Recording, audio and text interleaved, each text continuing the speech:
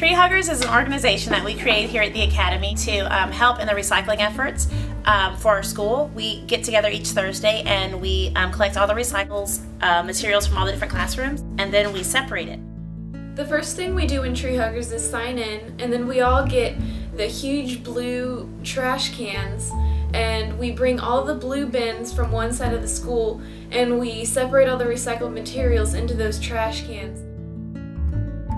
My favorite part of Tree Huggers is being able to save the earth.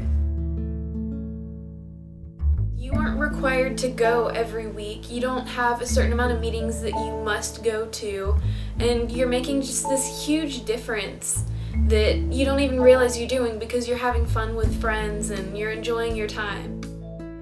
I like that we get to wear latex gloves at Tree Huggers.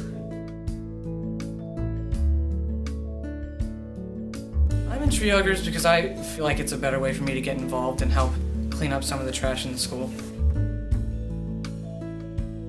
Tree Huggers is really great for any student because it offers community service hours. And even though it's a small club with just a few members that can come any week, you are making a huge difference by recycling hundreds and even thousands of pounds of recycled materials every year. We also encourage other people to take care of the environment and to make sure that um, they are reducing, reusing, and recycling at home, here, and in their communities. I found Tree Huggers an opportunity to better help our community.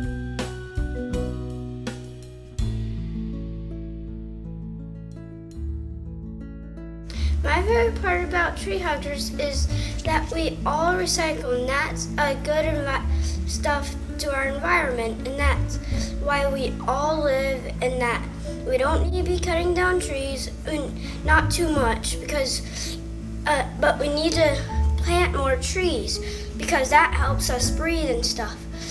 But did, uh, we need to stop cutting down too much trees because it will just be no air and stuff.